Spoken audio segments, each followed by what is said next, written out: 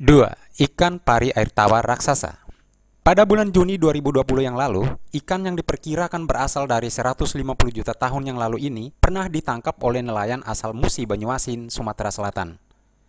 Namun ikan raksasa yang terjaring oleh nelayan lokal ini kembali dilepas liarkan oleh camat setempat.